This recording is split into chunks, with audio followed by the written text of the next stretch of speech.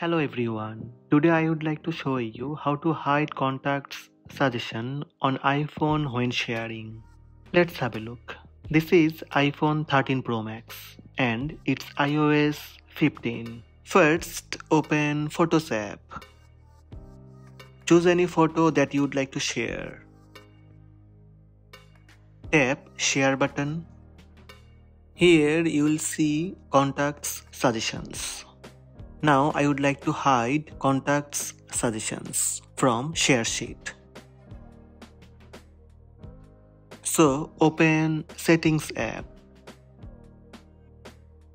In settings, scroll down and tap Siri and search.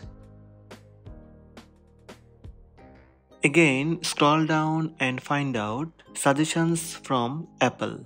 Just turn off show when sharing.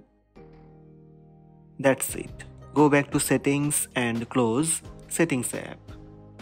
Reopen photos app. Choose any photo to share. Tap share button. Contact suggestion hidden or removed. So these are the steps to hide contacts suggestion on iPhone 13 Pro Max when sharing.